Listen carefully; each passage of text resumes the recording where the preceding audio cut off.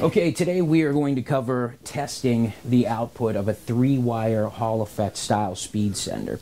Okay, this is our sender here, Autometer 5291, though this was going to hold true for any three-wire Hall effect sensor.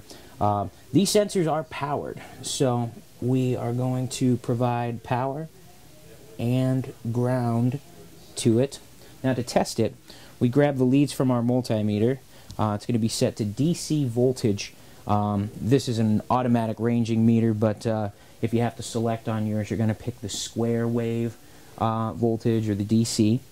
Uh, we're going to take our red lead and hook that to the signal output wire. Then our black lead is going to go to a common ground. In this case, we're just going to put that right there. And we take the sender and very, very slowly, we're going to turn this. As you can see on the meter, we're seeing our source voltage and then an open. Source, open. Source, open. And it's that pulse that we're looking for. Again, as slowly as possible. We don't want to do this with a drill. If we're turning the wheels on a vehicle, uh, we're literally going to just rotate the wheel ever so slowly. And that is the result that we're looking for.